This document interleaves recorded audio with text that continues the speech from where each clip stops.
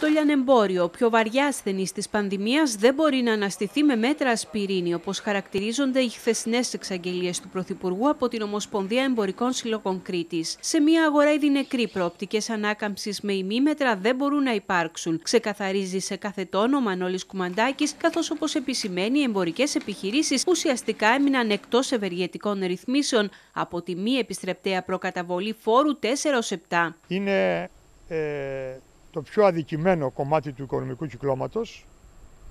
Από όλα τα βοηθήματα του κράτους ε, είναι το κομμάτι που έχει πάρει τα λιγότερα, τα ασήμαντα. Προλαβαίνοντας τις χθεσινές εξαγγελίες του Πρωθυπουργού, η Ομοσπονδία Εμπορικών Συλλογών Κρήτης ήδη έχει προτείνει με επιστολή έκκληση προς τα Υπουργεία Οικονομικών και Ανάπτυξης δέσμοι 10 μέτρων ικανά να παρέχουν ουσιαστική στήριξη στις επιχειρήσεις και να θέσουν τις βάσεις για την επανεκκίνηση της αγοράς και της ελληνικής οικονομίας. Καθώς σε διαφορετική περίπτωση οι μισές επιχειρήσεις που επηρεάστηκαν δυσμενώς από την πανδημία δεν πρόκειται να ανοίξουν ξανά όποτε και αν προσδιοριστεί το άνοιγμα του λιανεμπορίου. Οι επιστρεπτές προκαταβολές ήταν το μοναδικό βοήθημα. Φοβόμαι ότι το έκτο και το έβδομο ήταν σχεδόν εκτός του λιανικού εμπορίου, όπως και ο Περιφερειάρχης με τα χρήματα που έδωσε με την μη επιστρεπτέα προκαταβολή τα 6 εκατομμύρια, 6 δισεκατομμύρια ε, το λιανικό εμπόριο ήταν ουσιαστικά εκτός. Οι έμποροι ζητούν από την κυβέρνηση να αναλάβει πρωτοβουλίες για ειδική διαχείριση των τραπεζικών δανείων των επιχειρήσεων, σε συνδυασμό με σειρά πρωτοβουλειών δομικού και στρατηγικού χαρακτήρα, καθώς ο εκμηδενισμός της ταμιακής ρευστότητας οδηγεί στην κατάρρευση του προγραμματισμού αποπληρωμής των επιχειρηματικών δανείων.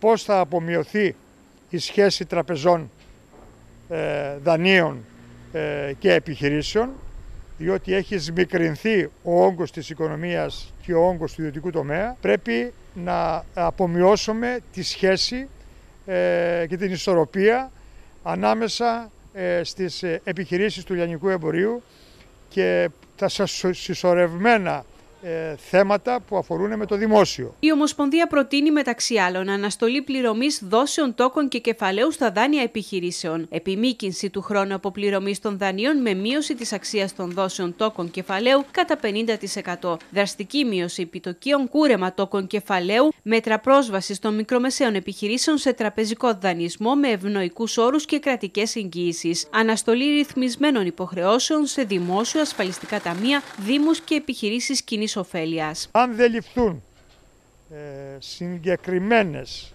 όπως αναφέρομαι, ε, και διαμορφωμένες πολιτικές, ε, άμεσες και αποτελεσματικές, ε, στρατηγικού χαρακτήρα, ε, το λιανικό εμπόριο θα έχει αναδιαρθρωθεί σε ένα, σε ένα σημείο τέτοιο που θα είναι ένας τελείως κόσμος διαφορετικός ε, από αυτόν τον οποίο ξέραμε. Οι προτάσεις της Ομοσπονδίας κατατέθηκαν ήδη στη Βουλή από τον κοινοβουλευτικό εκπρόσωπο του κινήματος Αλλαγής, Βασίλη Κεκέρογλου, ώστε να απαντηθούν από τους συναρμόδιους υπουργούς.